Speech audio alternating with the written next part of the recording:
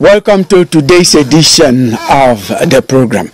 On Press Hour, we do not suppress our emotions.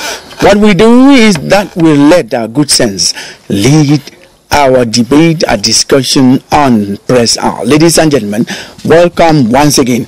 The debate, whether or not examination is the true test of knowledge, has its space in empirical research. The finest minds today questioning whether examination is the true test of knowledge went through the same process of knowledge acquisition, assessment, and certification with examination as the yardstick. This debate gains steam by the day because standards are falling. Standards are being questioned. The utility aspect of knowledge, which is the finality of knowledge, acquisition is sandy. It is wavering. This is from a general perspective though, so our support, our encouragement, and our total support to those students, to teachers, and establishments, uh, also parents who continue to shine the light of standards and excellence. That is still the silver lining on which we based our hope today. Standards of education getting better or getting worse in Cameroon. That's going to be our focus on today's edition of Press Hour. And for now, we have two guests. On the in the studio, we have Professor Willibroad Dze-Ngwa, who is the president of Heritage Higher Institute of Peace and Development Studies. Prof, you're welcome. Uh, well, uh, thank you, uh, uh Kilian. Uh, uh, permit me say thank you for inviting me, and I wish the viewers a good viewing. Uh, the educational process in Cameroon uh, seem to be uh, on a standstill. And I'm glad that we are supposed to, to do a dissection of what is and what is supposed to be done.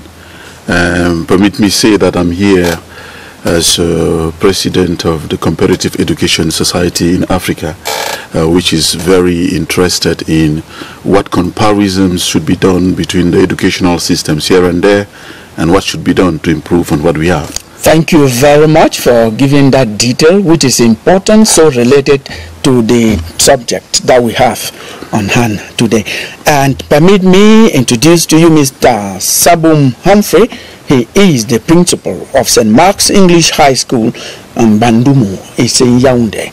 Am I right? So, perfectly right. You're welcome to Press Hour. Uh, welcome. Thank you very much, uh, ladies and gentlemen, televiewers. I want to say that I'm very honored to have been invited uh, to take part in this discussion as far as uh, issues that concern the nation is concerned. I equally want to use this opportunity, uh, with your permission, to acknowledge the presence of Professor Willibroad Dze-Ngwa, who happens to be my academic father, my lecturer, my supervisor, and he has been my coach, my role model, and my mentor. It's an opportunity to be on set on a national television side by side with him to construct the state. I find it an honor and this is a clear indication that he has been doing a wonderful job. I believe there are hundreds and thousands of people like myself out there that has been trained by him. Prove this is an honor. Thank you very much.